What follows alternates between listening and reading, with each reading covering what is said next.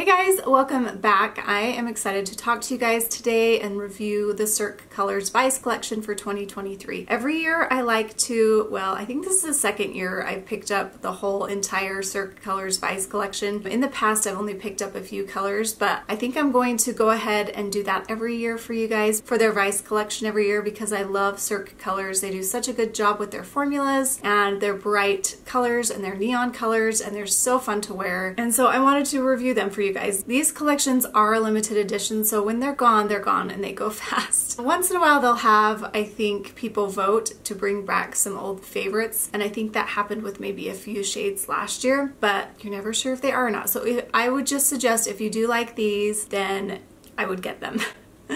but hopefully this review will help you decide that. These are available on the Cirque Colors website. You can also get them at Beyond Polish where you can use my code GOLAURIE10 for a discount and they're $12.50 listed on there. Now I originally thought you have to buy them as a set but you don't. You can buy them individually there. You might just have to look them up by the name. In the description below I will put the link for the entire set and then if you want to look at colors individually you'll just have to type them in. So make notes on something of names of the ones that you want and there's a few in here that I can show you that you will probably really want. At least I loved them. Okay, so let's get into the review here. There's six creams in this collection. We have, I think like I would say four really bright neons and then two bright colors. Before we get started, I'm gonna talk about, as always, what's on my nails. I am wearing this light pale yellow. I love it so much. And that is for my latest review for the Love by Essie colors. They're that line, and it's this one right here, and it's called On the Brighter Side. And I love these pale yellows. I'm excited to wear them. I love to wear them in spring and actually they're to be fun in summer too and I think it goes really fun with this bright shirt. So love a pale yellow. I feel like when a yellow is pale it's a little bit more neutral and so I love this. I feel like you can wear it with basically anything. And then I'm still loving these Maracuja Juicy Lip Plumps by Tarte and this is the one, the peachy beige one and I'll put a link to that down below as well. I love them so much. I've just been using them all the time.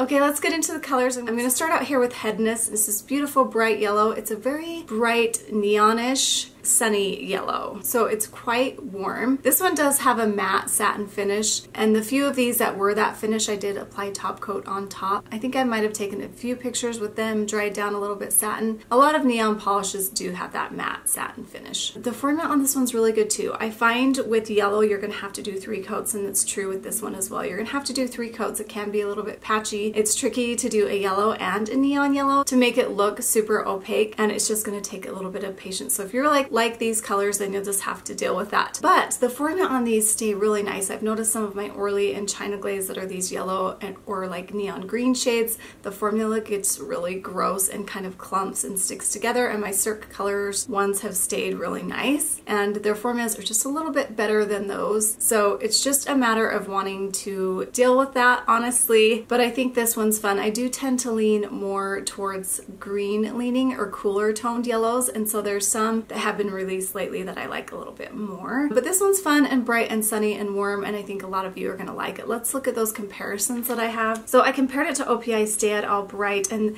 that's kind of OPI's neon. So you can see it's not super bright, but I do love the color tone of that one. And that one's more green leaning, like I mentioned, and that's from their new summer collection. And then Orly Road Trippin', man, the formula on this one's terrible.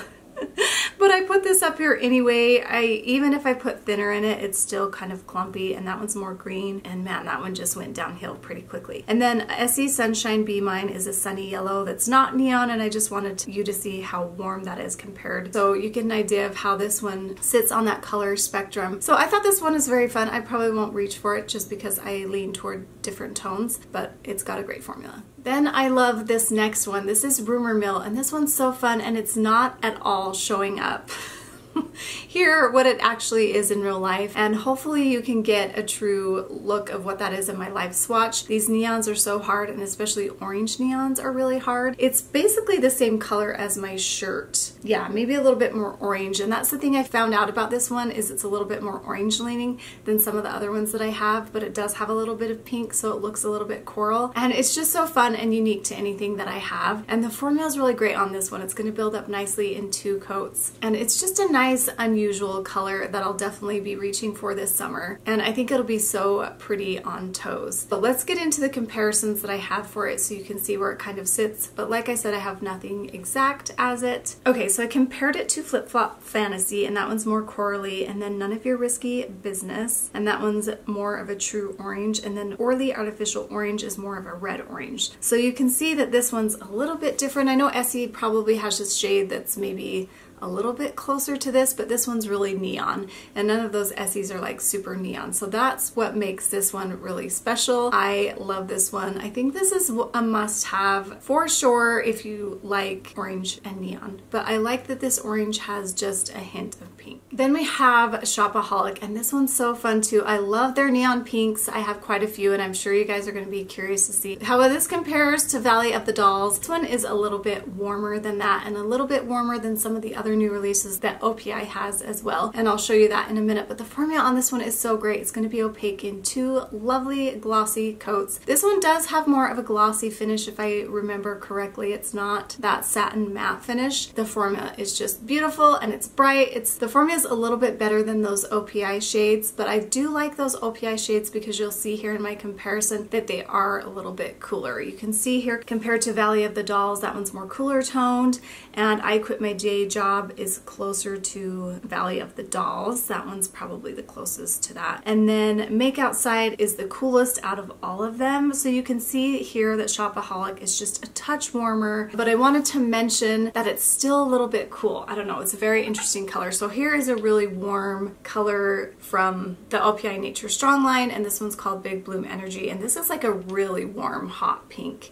So it's still a little bit cooler, but just a touch warmer than Valley of the Dolls and those OPI shades that were released that I love. Even though those OPI shades have a formula that's a little bit trickier, I love those colors because I definitely think they're a little bit unique. So this one's a little bit warmer and a little bit hot for summer. Hot girl summer. Okay, new outfit. new day, new nail polish. Uh, this is from the new Vintage Vanity collection that I'm going to be reviewing soon and I'll put a link to it. And then here are my comparisons for this green one because in my original view I mixed these up. Anyway, so this is the green one in the collection. It's cream and it's the initial C-R-E-A-M. I love this one. I like it a little bit better than Kushy I think because I'm more into the more pastel neons right now and that's exactly what this is. And I love it because it's more cool toned. This is a great one. It has a fantastic formula. It's so close to two coats, but you probably will have to do three on this one. I just really love lime green. in the summer. Last year I was really into kind of lime green but more yellow leaning. I really loved Tropic Like It's Hot or maybe that was a couple years ago. But love them and this one has a fantastic formula just like all these other Cirque colors. Okay so let's get into those comparisons. I had pulled in Kushy on accident and reviewed it in this collection but that one was from last year. But anyway I compared it to Electric Daisy that was from a few years ago and that one is definitely more yellow and then Once a Witch Always a Witch which is also pretty close to Tropic Like It's Hot. That one is just a little bit less pastel-y.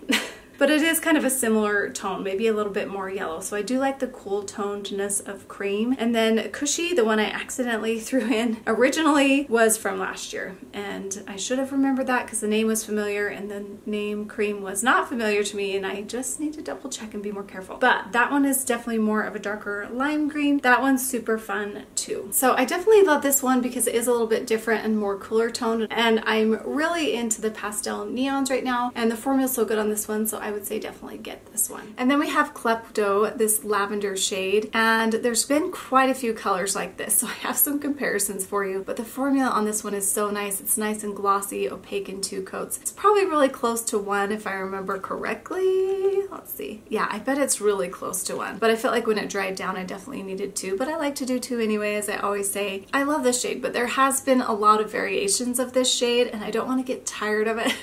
But this is a, probably a good shade for Cirque colors to have, but let's compare it to other brands that I have that are similar to this one. So In the Universe is more pink, but it's very close and I love that one. That was from the Essie Spring Collection this year. And then D&D Pixie. If you follow me on Instagram, you know that they sent me like a huge load of polish. I think I'm gonna do a live this week showing all the colors that I got, um, and then I'll be doing some swatching of them on some reels on Instagram. But that one's also a little bit more pink. Uh, it's closer to In the Universe, um, but those are kind of the same idea. And then OPI Achievement Unlocked is closest but slightly muted. I wanted you to see that. So not super unique, a little bit different. I mean, a lot of lines have colors like this and they're all slightly different tones. This one does have a little bit of a brightness to it, which is fun, but it's not neon. But um, if you don't have a color like this, this is a good one to get, or you can pick up one that's similar, that's maybe not as expensive, because I know this one's a little bit more than some in other brands. And Game Over.